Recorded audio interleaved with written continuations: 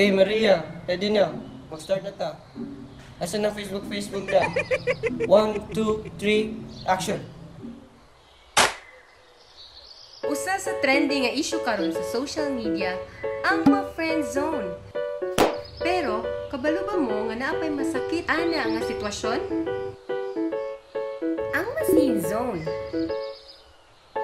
Bakit ano? Ignore pa. of reach フフフ。